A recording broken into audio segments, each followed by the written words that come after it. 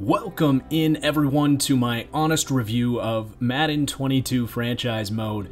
And this is actually going to be a pretty fun video to make, as over the last four or five years of Madden reviews on this channel, well, myself and most of you have spent quite a lot of time yelling at EA and begging for some much needed upgrades. But now, in large part, thanks to this community and what we've accomplished during the Fix Madden franchise movement on Twitter, we actually have a lot of new features here to discuss, which is really exciting. In this video, I'll be going over the newly added features for Madden 22 franchise mode, as well as pointing out some of the major things still missing from the game mode. My goal here is to present you my honest opinions of this year's game and ultimately provide you with what you need to determine if you should buy the game this year or not. Before we get started though, please do consider dropping a like down below if you enjoy the video or find it informative. Also, as many of you know, the majority of my Madden content now gets uploaded on my second channel, TFG Plays.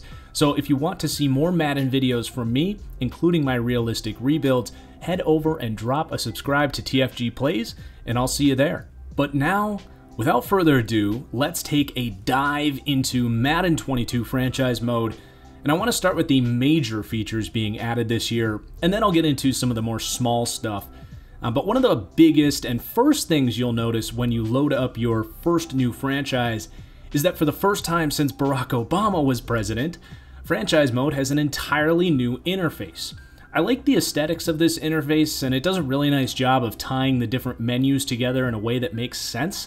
Another thing it does really well is it pushes more information from around the league to the forefront of your experience, which is a, nice touch to increase immersion and take yourself outside of that bubble that we've all really experienced in our previous franchise modes. You know, now instead of it feels like the rest of the league was living in your world, now it feels much more like you are living inside the league as it pushes news and stats, like I said, much more to the forefront there. Uh, ultimately, the actual content of the menus, it's mostly the same, same stuff we're used to there. Uh, but this was a much needed addition to at least help the mode feel like it was actually upgraded because it just simply looks different, but as well as increasing league immersion just by the way that things were ordered around there. Uh, but new menus surely isn't the most exciting addition here, that'd be really underwhelming. It's simply the first thing you'll notice. But now we're going to take a look at the new weekly game planning feature. And this feature actually goes much deeper than you might think. So every week now, this feature has you take a more in-depth look at your upcoming opponent. The game will present you with your opponent's top player, who you may consider trying to focus your game plan on trying to stop, as well as several statistics that help you better understand what is working or not working for your opponent that week. On each side of the ball, you will select a focus. These range from stopping outside run to containing the quarterback, and on offense, from passing deep to pounding the rock inside. All of your players will then get attribute bonuses designed to help you accomplish this goal that you've now set. But as I understand, only on pre selected play calls that are pre designed to accomplish whatever game plan you have selected that week. So, for example, if you want to stop inside run, formations with bigger personnel, for example, may receive boosts to things like block shedding or tackling. And if you look at the attributes that go up from these game plans, these boosts may at first sight seem a little overpowered, but in my experience, it was actually necessary for them to be as big as they seem for you to truly feel like you chose the right game plan uh, for it to actually start to really show up inside the game. Uh, if they made it too small, you really wouldn't notice much of a difference. I think they got the the size of these boosts correct, and ultimately, I ended up really enjoying that aspect of it. And then at halftime, you can actually adjust your game plan. Now, I will say I do wish that for immersive purposes that they reduced the boosts that you receive from these adjustments because it really doesn't make sense that after 20 minutes adjusting your game plan, you'd get the same boost from a full week of practice. Other than that, I, I will say having something to think about at halftime is something we've never really had. And it's still a, a great addition, kind of having something to think about at halftime and having a, a tangible adjustment at half. And I could really just picture my coach screaming at the players in the locker room after just getting steamrolled in the first half and having to adjust his game plan. But what's really awesome here is that this is only a portion of what weekly game planning accomplishes here, as it also acts as an overhaul to the training system and the way that players gain XP, as well as an introduction to a more in depth injury system. Gone now are the days of selecting the same old boring drills and having to get gold medals that forced you to choose just a fraction of your position groups. Now players will receive XP as you do your weekly game plan, and every player will earn XP. This effectively serves as your practice for the week, and just as real coaches do, you will be able to cater your practice that week to your team's needs. You can adjust the tempo of practice, choose how to distribute reps between starters and backups, and the harder you practice, the more XP you will gain, but now with a newly added fatigue setting, the harder you practice, the more your players will risk fatigue and injury. Yes, even during practice, injuries. Uh, but not to worry there, for the more casual players, you can disable practice injuries and they're never really all that severe to begin with. I actually really liked having them on, it felt really immersive, but that option is there to turn it off. You can also monitor individual player health now. This is something that the community has been asking for a long, long time, but as this is an honest review, the actual player health system that has been introduced this year, it's much more of a tease right now of what could potentially be coming, uh, as right now it's just pretty shallow. It's good to see it there, and you can get some cool information, and surely the fatigue stuff is tangible uh, and impacts the game and how often guys get hurt in certain lights, but there's plenty more room to develop this injury system. So I would just say I would lower your expectations a little bit if player health and a new injury system was at the top of your wish list but this is definitely uh, the first time that we've gotten really anything to do with fatigue and injuries in a long time, so it's good to see it. So to say that this weekly game planning feature and everything that it accomplishes is well overdue would be an absolute understatement. But I honestly think EA knocked it out of the park with this one, and I think people are really going to enjoy the feeling of having to think about who you're going up against that week, as well as you know, the different ways it spices up one of the most outdated systems in Madden franchise mode being that player training system that is now much, much different. And what's crazy is everything I've mentioned so far is already kind of more than EA has put into franchise mode over at least the last three years or so, but we aren't even all that close to being done talking about the new additions to franchise mode this year. The next major addition has been the number one request from my own wishlist videos for years now, and I am so thrilled to say that we are now getting a unique coaching staff system with RPG style skill trees, similar to the, the features from NCAA 14 that we loved so much.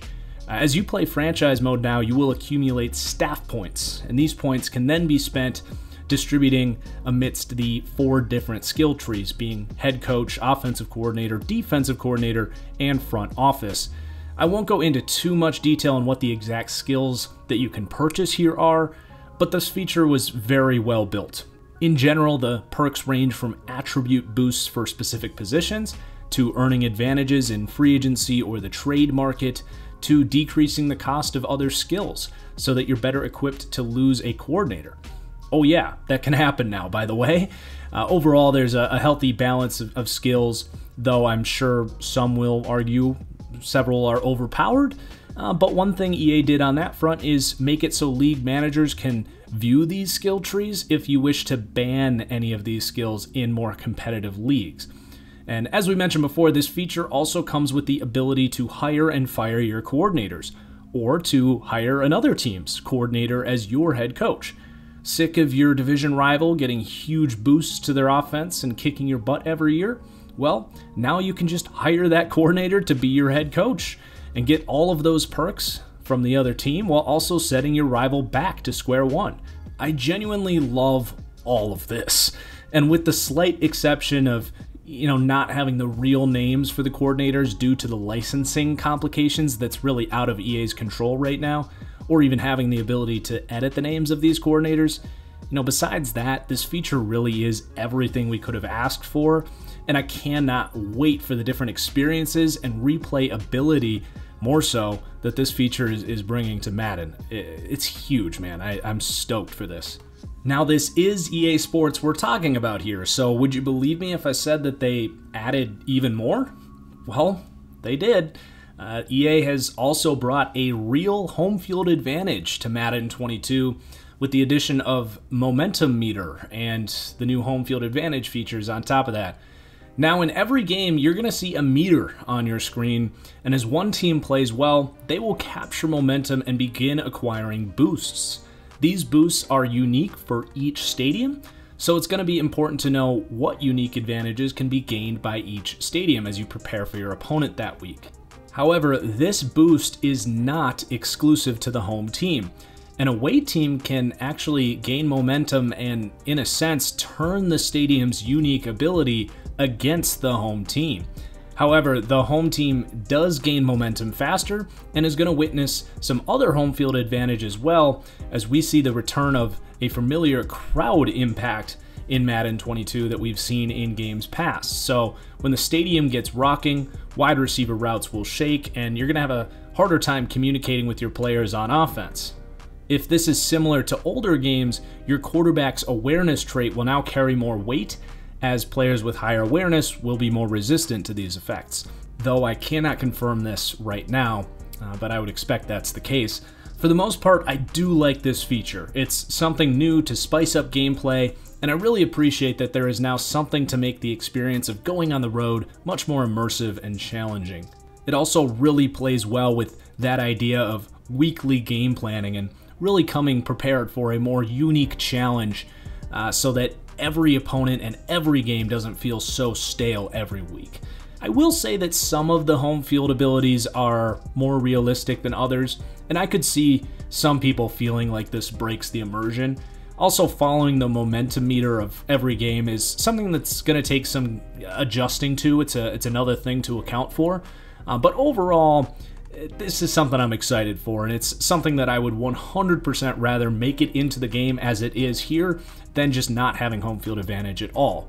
And then there is one more major feature being added for Madden 22, but unfortunately the Madden team wasn't able to get it quite ready to roll out with the launch of Madden 22, and that is by popular demand, the scouting overhaul. Obviously, I haven't had an opportunity to play with this feature as it won't be available until sometime in December. If you want my estimate, I would just say about September 15th.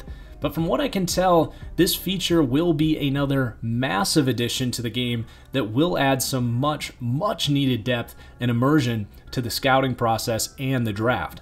Some highlights of this feature that we know about right now are the addition of individual scouting staffs. So you're going to be able to assign certain scouts to different players and regions throughout the country and begin collecting info on prospects that way. As well, uh, we're going to get the ability to see players move up and down the league wide draft boards that we follow. You're going to get weekly mock drafts and the ability to see who other teams may or may not be going out and scouting. So, just a lot more depth and quality to the scouting system as is.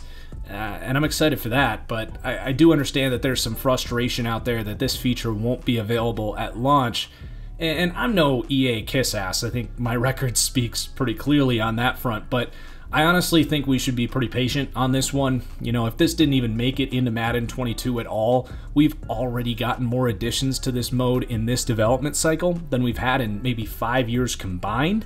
And they did this all during a pandemic outside of their offices. And we're going to be getting this feature in just a few weeks. You know, games get delayed all the damn time. So I think we should be thankful for the fact that we're getting this here uh, and show some patience with this feature so that they can get it done right and not roll out a half baked product. It's just my two cents. I'm willing to be patient with uh, patient with this thing, but it is worth noting for your online leagues or for those of you that like to take your franchise years and years into the future that you're not going to be able to implement this scouting overhaul into any existing franchise files. You're going to have to start over if you want to get the scouting overhaul. So do what you will with this information. Uh, I'm just passing that along. And that's all of the major features coming to us for Madden 22.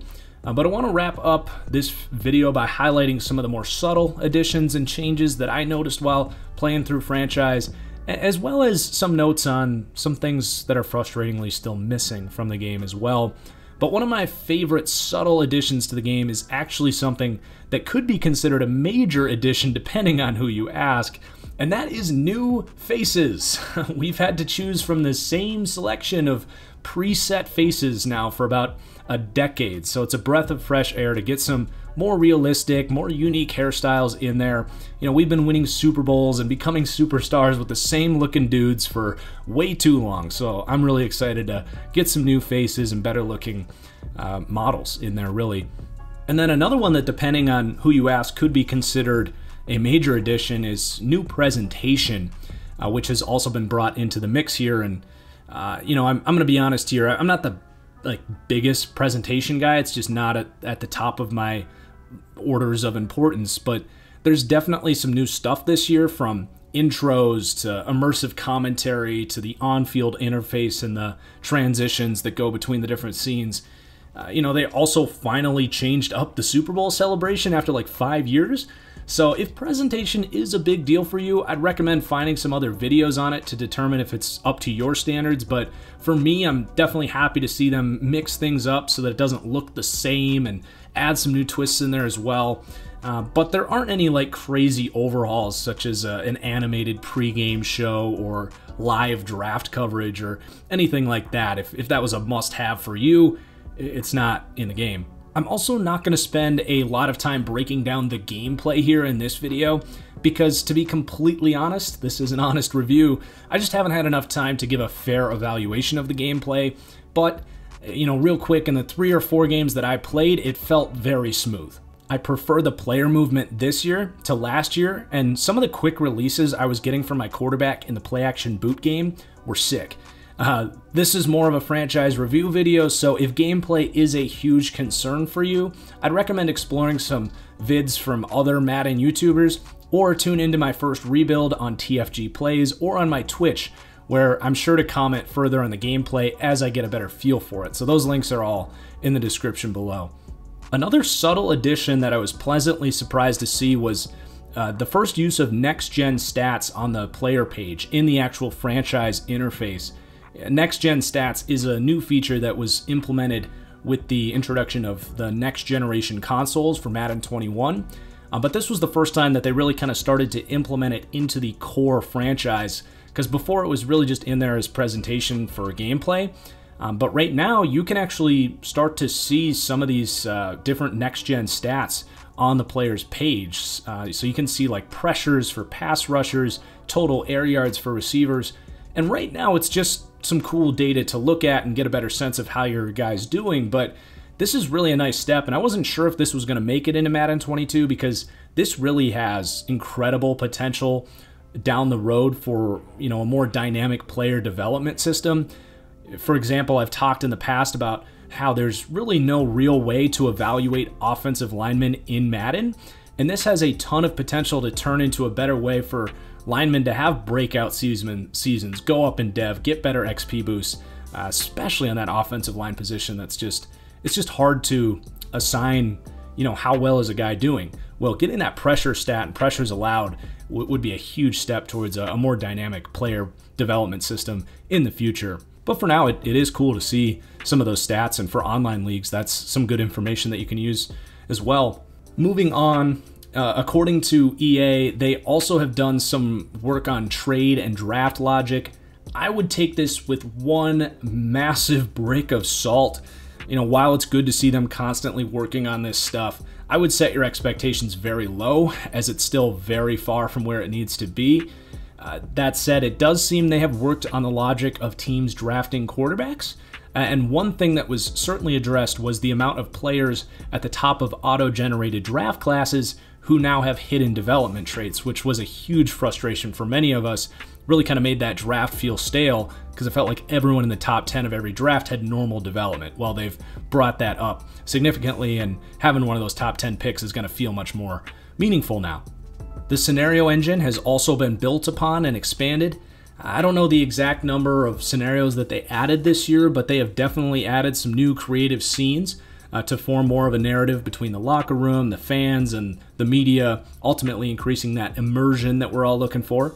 And I say scenes because they have now added actual animated scenes for a lot of these scenarios, which just helps uh, the immersion even further, where it's not just a text message. Now you can actually see the coach go to the podium or, you know, talk to Bobby Wagner in the locker room or whoever it may be. There's still a lot of work to do with the scenario engine, but it is good to see them building upon some of the progress that they have made since rolling out this feature in Madden 20 that's been kind of developing slowly, but they made some good good strides this year.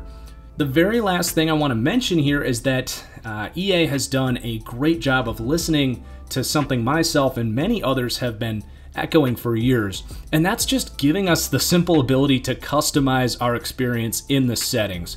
So whether it was in Madden 21 uh, or some of the new things that they've added for Madden 22, we now have way more settings in place to really cater our experience to, to what we're looking for. Specifically for Madden 22, they've given us the options to disable the pre-order bonus for, for staff points, you can disable practice injuries, and in general, just the weekly game plan feature is really designed in a way that you don't have to use that feature if you don't want to, but it's now there for us that want that depth and immersion.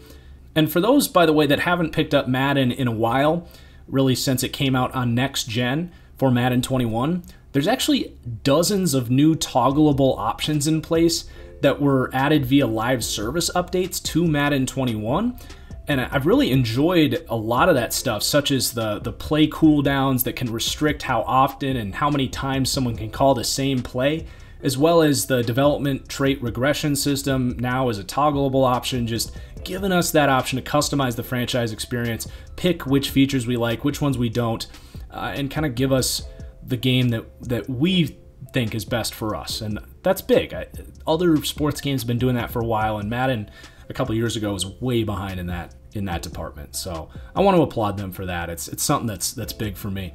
But while all of this stuff is amazing, you know, I wouldn't be doing my job here if I, I didn't point out some of the big detractors still present in franchise mode for Madden 22 and beyond.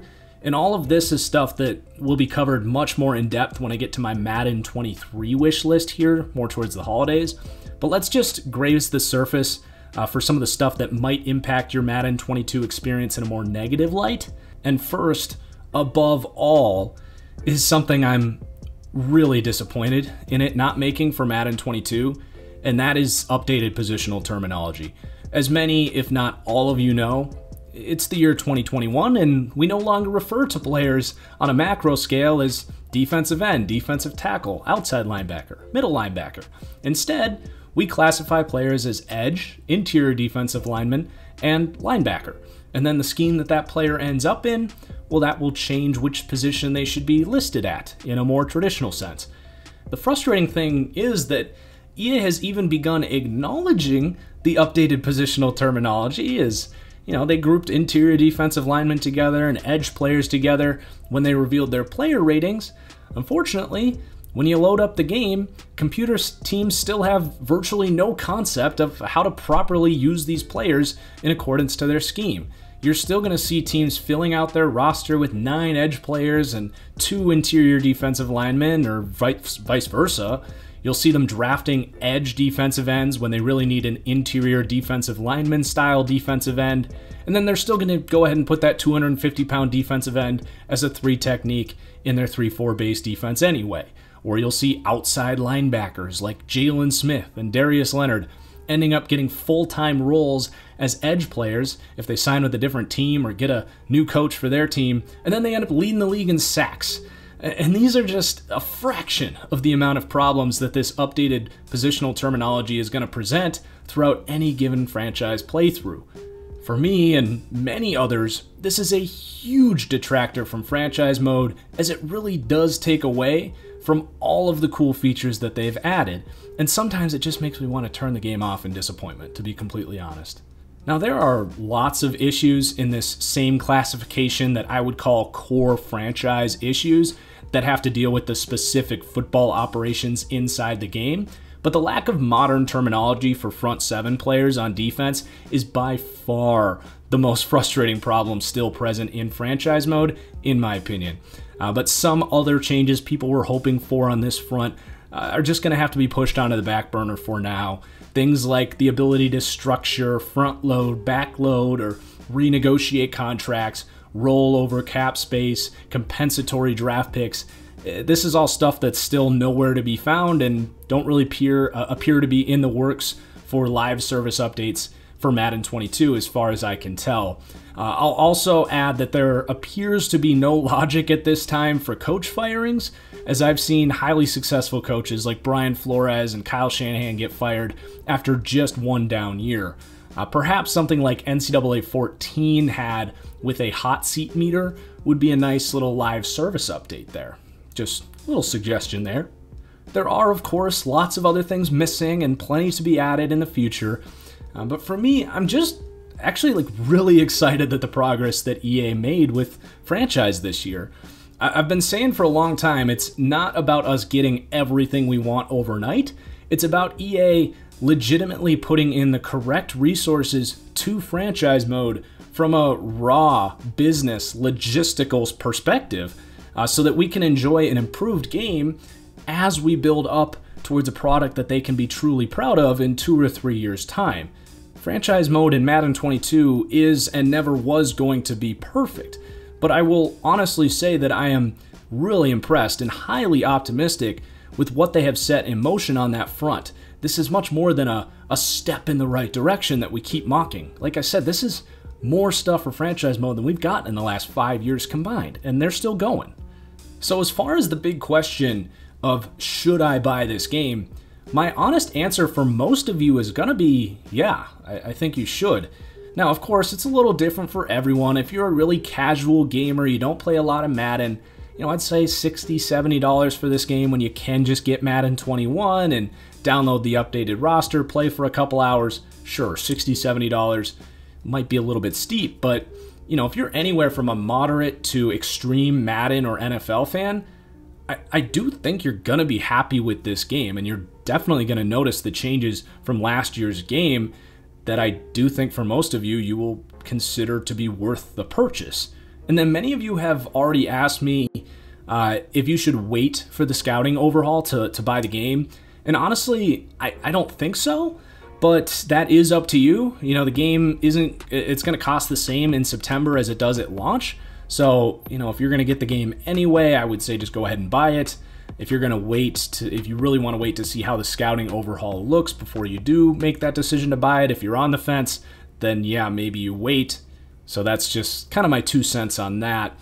Uh, but I don't usually give out grades or whatever, at least for video games. I do plenty of grades for NFL players. Uh, but if I had to grade Madden 22, I think I'd give it a 79.1 or a 7.9 out of 10. I choose this number because this was Aaron Rodgers' PFF grade for the first year he started for the Packers after sitting a couple years behind Brett Favre. He had a really nice season, grading out at 79.1 before bursting onto the scene in 2009. This is how I feel about Madden this year. You know, they sat the last couple years out, but this year they committed to the game mode and have shown some real tangible excitement. And we're going to have some fun with some hiccups along the road with Madden 22, but if they stay on the same path that they are on now, the game can go from good to great very quickly. Uh, I also just needed to throw some Aaron Rodgers love in there because he got absolutely slandered by EA's marketing and ratings team this year. But that's it, that's going to do it. I really hope you enjoyed my honest review of Madden 22 franchise mode. This video took a lot of time and effort, so I'd uh, really appreciate it if you uh, enjoyed to follow me here for NFL analysis throughout the season and draft, uh, but even more so on TFG Plays, link down in the description below, where you can follow my upcoming realistic rebuild series. It, would mean the world to me if we could get TFG Plays up to 10,000 subs by 2022 and I think you guys are going to really like the content building up over there as well. So go check it out and we'll see you over there. But until next time, happy football season, everybody, and cheers.